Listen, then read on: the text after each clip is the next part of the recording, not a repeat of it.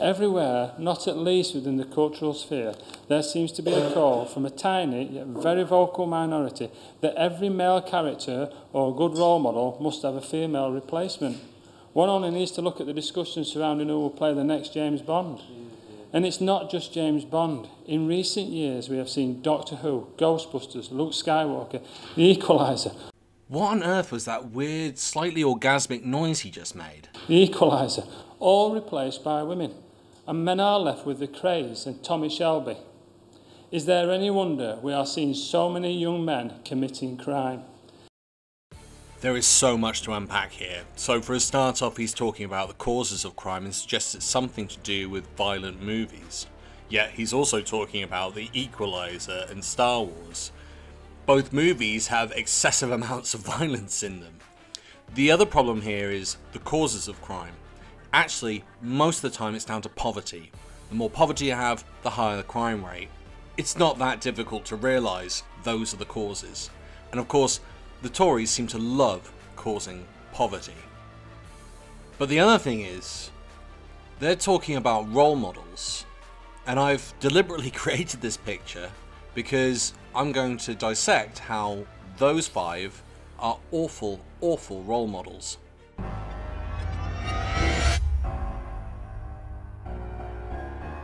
Hey everyone, welcome back to Political X.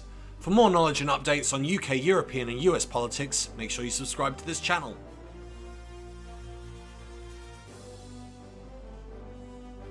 So let's talk about the violent movies that he talked about causing crime. There's obviously very little evidence and this has been kicking around since the 1990s as a debate.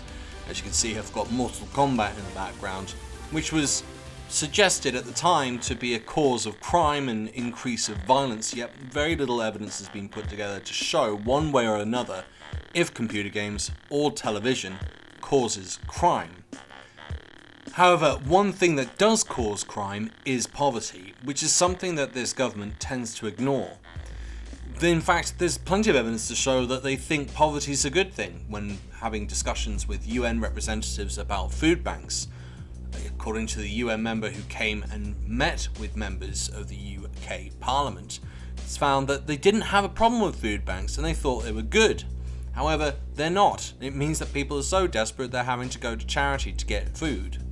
That's not a sign of economic wealth or prosperity, it's a sign of poverty, and poverty causes crime. There's substantial evidence to show that's the case, and quite frankly, it's just a level of common sense to realise poverty causes crime. You could look back as far as the 1980s into the United States and see the crime epidemic that they were having in the 80s and early 90s. Part of the reason for getting rid of that was an economic boom with the internet, there was also some suggestion that Roe v. Wade played a part in reducing crime. We can also see that increasing police numbers always has an effect, but it's relatively minimal. It's one of the key concepts within the Tory party, it's one of the key concepts with these guys in front of you, and yet they don't understand that and they think that the only solution is to put more people out in the street and make crime punishment even harsher to the point of executing members of the public. Now, the MP did write a letter to go into more detail about what he meant by those comments about women. I was pleased to speak at the International Men's Day debate today, especially as it gave me a chance to raise several points that are often a little overlooked within political discourse. These points namely touch upon poor academic attainment of boys in schools and a lack of positive role models for many struggling males in society. It is just so unbelievable to think that an MP would suggest there aren't enough male role models. Has he not been to the cinema in the last 10 to 12 years?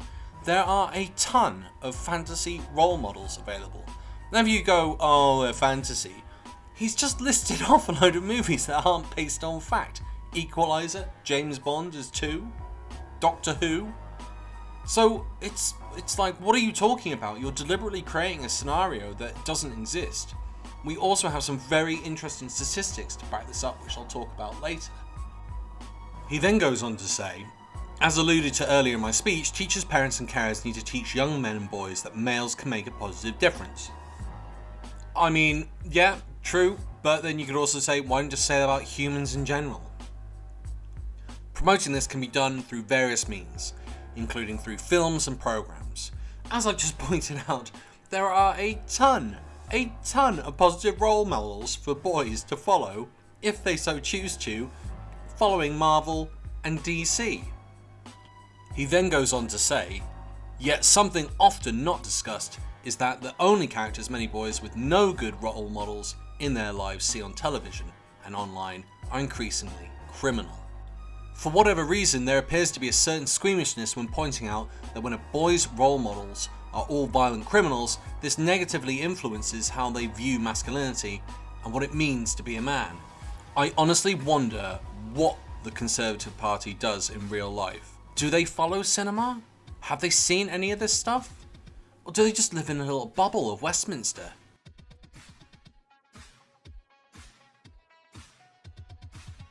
So all those comments link into a lack of male role models. Well how about this for a set of statistics that I found recently. 2011 statistics. Women on screen. Females accounted for 33% of all characters. Females comprised only 11% of the protagonists. Male characters are much more likely than female characters portrayed as leaders. Overall male characters account for 86% and female characters 74% of leaders. Males 40 and over account for 50% of all male characters. Females 40 and over, 25% of all female characters.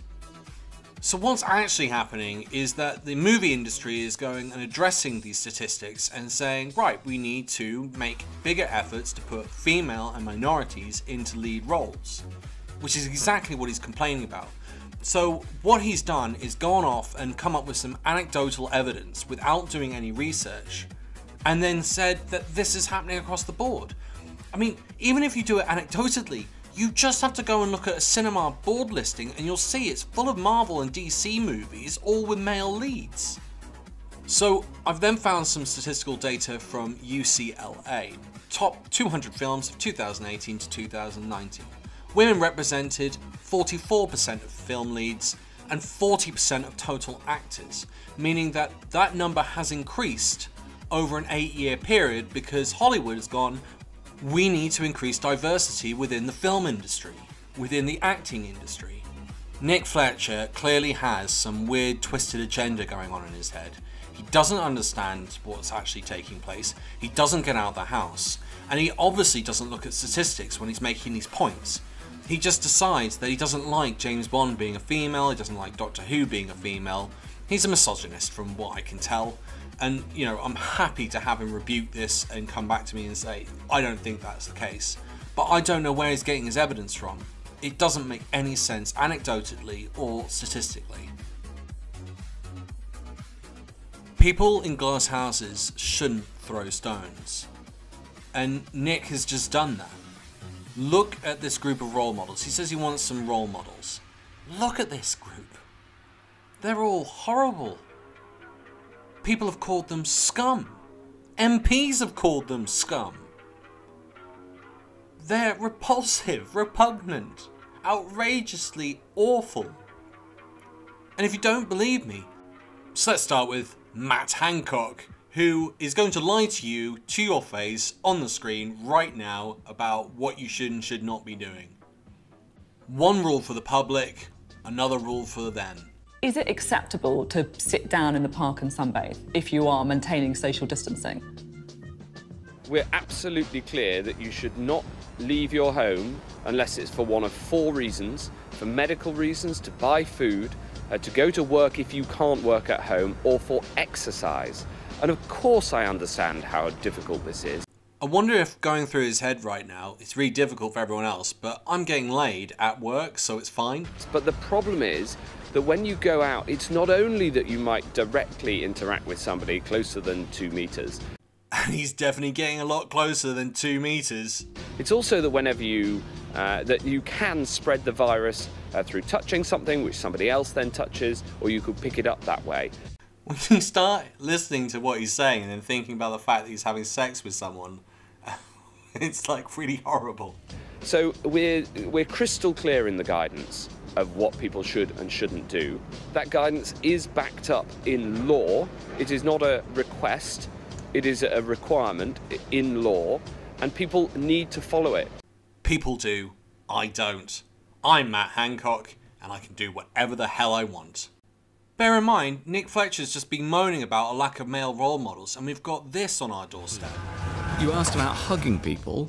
Uh, when people have had both jabs, then it is uh, it, it, that is that is pretty safe. Right. Okay. But you shouldn't still spend a lot of time in close proximity. You should make sure ventilation's good. We all know what we can do and take personal responsibility. But of course, as he's saying all of that, he's having an affair with his aide, who he hired to come and work and protect everyone from COVID while spreading it between two houses. It's pretty disgusting and not role model material on several levels. In fact, this is going to be even worse because this is going to erode trust in our confidence in government. And again, we're looking for role models here. And that leads perfectly onto Boris. Someone you can't trust and the public doesn't trust. Let's have a look at what a professor of psychology had to say about the Dominic Cummings affair. The thing about this Cummings affair, which made it truly toxic, was not what Dominic Cummings did himself. It was when the Prime Minister defended him, and therefore an individual indiscretion turned into a systemic issue, a sense of there's one rule for us and another rule for them. And so for me, uh, the Hancock affair changed when, again, the Prime Minister rode in and defended him, again giving rise to that sense of uh, if you are uh, one of the government, an advisor, a minister, you're treated in one way, but the rest of us are treated differently. And once you have a sense of them and us, it critically undermines trust. You have a sense of the government as not looking after us, not on our side, but as other, um, as imposing upon us. And in the week or two after the Cummings affair, trust in government plummeted so much that the pollsters were shaking their heads and wondering if they'd got it wrong. It plummeted by about 20% in a week. It went down from nearly 80% to around 30%. Now, you might argue there is so little trust now, there's little more to squander. But nonetheless, in the midst of a huge national crisis, we want a government uh, we trust and we want a government that we're going to listen to. And that trust is something that you always want to have in a role model. You've got to trust what they say. You want them to have strong values. You're looking for people more akin to the Black Panther or Captain America. People who have core values that we can all relate to. Honesty, intelligence, faithfulness, a can-do, die-hard attitude, willing to fight for the end, and for humanity. And quite frankly, I don't feel as if we get that with this government. We get something more akin to an apocalypse. And let's just have a look at some of those core values coming out in an Eddie Marr interview with Boris Johnson. Well, I haven't, I haven't seen it, so you. No, but, but, but this happened in your life, so you, you know about this. The Times Theory. let you go after you made up a quote. Why did you make up a quote? Well, uh, this, this again, you know, these are these are these are big terms for what happened. Well, I can tell you the whole thing. I mean, it was, it was I think, our, you know, I think, do you- are you sure our viewers wouldn't want to hear more about? Well, all how right, if you don't- if you don't want to talk about- if you don't want to talk about the I- made-up I- quote, it was a- let me talk about It was a long and a long and lamentable story. uh, Okay, but you made in which, up. well, what happened was that um, I ascribed events uh, that were supposed to have taken place before. Uh, the death of Piers Gaveston to events that actually took Yes. place after the death. You made something up. Let me ask you Well, about another little, I mean, uh, I mildly sandpapered right. something. Let me ask you about a yes, barefaced Very lie, then. embarrassing. I'm very sorry about Let it. me ask you about a barefaced lie. When Right. you were in Michael Howard's team, you denied to him you were having an affair. Uh, it turned out you were. And he sacked you for that. Why did you lie to your party? Well. I mean, again, I mean, with great respect, on, on that, um, I never had any conversation with Michael Howard about that matter, and uh, you know, I don't You did lie propose. Well, you know, I don't propose to go into all that again. I- think- I don't think blame you. No, well, why should I? I mean, I've, I've been I've been through uh, you know uh, that question a lot with the. the they Okay. Watch the All right. documentary. Okay. Uh, the why don't we talk program- about something else? The program also includes, well, this is about your integrity. Okay. The program includes your reaction as you listen to a phone call in which your friend Darius Guppy asks you to supply the address of a journalist Yes. so that he can have him physically assaulted. The words beaten up and broken ribs are said to Yes. you. And you, having heard that, you tell your friend Darius Guppy you will supply the address.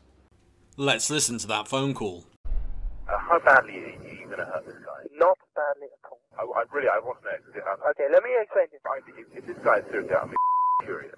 I guarantee you, he will not be seriously hurt. How badly hurt he will not have a broken limb or broken arm. He will not. Uh, he put into intensive care or anything like that. He will, will probably get a couple of black eyes and a, and a, and a, and a, and a cracked rib or something like that. Nothing which you didn't suffer in rugby, okay? But he'll get scared, and that's what I want him to do. I want him to get scared. I want him to have no idea who's behind it. Okay? Gary, if I get fucking, if I get You will not, Boris. I swear to you. If you knew, Get, get, I'm not upset. I'm, I'm, I'm forget it. I just got this bloody number for you. Uh, Don't worry. Okay, Derry. I said I'll do it. I'll do it. Don't worry. Boris, I really mean it. I love you. What does that say about you, Boris Johnson? Well, Aren't you, in fact, making up quotes, lying to your party leader, wanting to be part Well, of uh, someone being physically assaulted? You're a nasty piece of work, aren't you? And I honestly want to know what this guy thinks of that video that I've just shown you, showing a guy who's a thug. And you can hear these things of like, oh, it was 10 years ago or 20 years ago. Oh, it was in my distant past. You're an adult. I mean, this is a guy who also takes coke. What are you going to do about that? You're, you've got someone saying they're looking for role models and they're throwing disparaging remarks about TV whilst the leader of their party lies, cheats, has affairs, and and of course on top of that we also have a multitude of racial incidents involving the Prime Minister, from where he's writing really racist comments to insulting presidents of the United States, uh, questioning their ethnicity and their background. Some say it was a snub to Britain. Some say it was a symbol of the part Kenyan president's ancestral dislike of the British Empire. well. We saw that during his time as Foreign Secretary. In 2017, he was in Myanmar, where for some reason he kept muttering Rudyard Kipling's colonialist poem Mandalay to himself. bells, they say. we, we got one bell. Come you back, you English soldier. over there. Remember that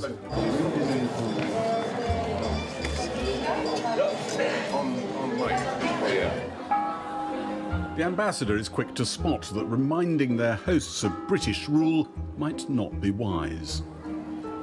So probably not. What, the Rage Mandalay? Yeah, not appropriate. Is it good stuff? Or is that actually bad stuff? Because I would argue, as a foreign secretary, it's best not to remind people of when your country subjugated theirs for more than a century. It honestly would have been more diplomatic at that point for him to recite the lyrics to My Neck, My Back, parentheses, Lick It by Khia. My neck, my back, lick my pussy, and my crack. Good stuff, good stuff immigrants as people that want to leech off the state. And over the years, he's made references to pickaninnies. He said the people of Congo had watermelon smiles. He's called gay men tank-topped bum boys. And just last year, there was this. They look like letterboxes, Boris Johnson wrote on Monday. He even compared women who wear them to bank robbers. That is an appalling comment that leaves a truly disgusting taste in your mouth. Who agreed with me that uh, there could be. Would you ever use those words oppressive- again? Oppressive. Uh, yes, of course I would. You know, people say, oh, politicians should be careful what they say and they should watch their words and all this sort of mumbo jumbo. I don't agree. I don't agree. I really don't. Even if it's I think, offensive? I think one of the one of the reasons. But even if it's offensive, Mr. well, Johnson. I, I don't want to cause offence if I can possibly av- avoid Well, it. then don't But- refer to them as well, bank robbers. You know, I think I think You just said you would again. I think that one of the uh, im- duties of a politician is to speak his mind or her mind uh, insofar as uh, as possible. Why would you not learn from mistakes? Shouldn't politicians also learn from mistakes? Look, I, you know, if, if, if people are offended, if people feel insulted, again. then then yes, I would. Policy progress. All right. Would you take the knee, Prime Minister? Uh, look, I, what I want to do is No, no, no, do this is a yes or no, substantial. uh, well, let me give you my answer. I, I, I, I don't believe in in gestures. I,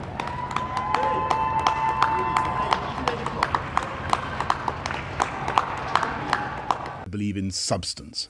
I believe in doing things that make a practical difference. A practical difference. He's scuppered the economy, destroyed tourism, farming, fishing. The economy is probably having its worst recession in history. What practical difference? And you're telling me this is a role model? This is someone that we should be looking up to. This is someone you should be telling your kids about and saying, hey kids, look at this guy, he's great, this is who you should be like? Not a chance. No one's going to be saying that to their kids. Let's have a look at Priti Patel though. That's an interesting character because she claims she's been bullied and yet she now goes around the office bullying all of her staff And it's coming back to haunt the Prime Minister because it's just come out this November. It looks like there's going to be legal actions taken against number 10 for not dealing with Priti Patel's bullying. has effectively said that this government doesn't understand um, racial inequality. Well, on that basis, Madam Deputy Speaker, it must have been a very different Home Secretary who, as a child, was frequently called a packy in the playground. A very different Home Secretary who was racially abused in the streets, or even advised to drop her surname and use her husband's in order to advance her career. That's sad that anyone has to go through that and no one should, but it's also really interesting because you'd think that someone experiencing that would also create a level of empathy in them and make sure that they don't do it to others, and if that also should include bullying. Yet clearly Priti Patel hasn't learned from those experiences, and according to this, she is now going to be sued by the Civil Servants Union along with 10 Downing Street. And bearing in mind, Alex Allan, Johnson's independent advisor on the Ministerial Code, resigned last year the Prime Minister chose not to act on a critical report about Patel. After a Cabinet Office investigation citing instances in which she had shouted and sworn at staff, Allen found Patel had displayed behaviour that can be described as bullying, and that she had not consistently met the high standards expected of her. Yet she's happy in Parliament to go and cite how she was bullied at school and had racist abuse. She's learned nothing from it. In fact, actually, I would go so far as to say she's learned to be nasty, a nasty piece of work. And again, we go back to role models. Would you be telling children that Priti Patel is a role model? And of course, Boris also lets her off. So that's another strike against Boris. He doesn't enforce the law. Is that something you want your kids to follow? Let's take a look at Michael Gove. In a case brought to the High Court of Justice by the Good Law Project, Michael Gove was found to have acted unlawfully when the government awarded a contract without tender to a polling company owned by long term associates of his and Dominic Cummings, then Boris Johnson's chief advisor. Half a million in COVID contracts given out, and it isn't just there. We could go back to Matt Hancock also doing the same giving out contracts to pub landlords.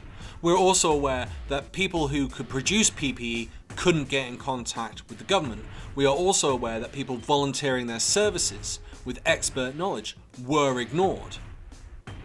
High levels of corruption, something akin to that of Hydra. And last but not least, let's have a listen to Rees Mogg, suggesting that people don't have common sense, but also reinforcing the fact that Tories don't seem to believe in following instructions from other people, and that actually they're a law unto themselves and they should make their own decisions as to what is safe and is not safe. Again, one rule for them and another for the public. This is Grenfell Tower. Have a listen. I mean, not only is there the issue of the cladding that should have been removed from the building, and cladding is essentially plastic, they wrap it in plastic which is highly flammable. But then Jacob Rees-Mogg comes out and tries to suggest that the people who were inside should have completely ignored the fire service advice and used their common sense to leave. Have a listen. Because of the cladding, leading to the fire racing up the building, and then was compounded by the stay put policy. And uh, it seems to me that that is the tragedy of it. That the more one's read over the weekend about the report and about the chances of people surviving, if you just ignore what you're told and leave, you are so much safer. And uh, I, I think if either of us were in a fire, whatever the fire brigade said, we would leave the burning building. It just seems the common sense thing to do, and it is such a tragedy that that didn't happen. But I there is clearly issue here. There is clearly a group of people that you would not be telling your children to look up to. Because frankly, this group of people are awful on so many moral levels. It's difficult to say what went through Nick Fletcher's mind when he read out that statement. Is he a misogynist? Does he actually look at statistics? Does he look at anecdotal evidence? Does he even look within his own party to see the level of moral corruption that exists within its leadership. I don't think he does to any. And it makes me go, why is he an MP? he's not even able to analyse his own leadership. Anyway, on a brighter note, thank you so much to all of my patrons. It really makes such a difference to the channel being able to have a stable income, allowing me to produce more videos regularly. If you'd also like to become a patron, there is a link in the description. I hope you enjoyed my political observations this week. If you'd like to support me, please share the video with others and post about it on social media. If you're keen for more, subscribe, comment, like, and hit that notification button. Thanks for listening, and see you next time on Political X.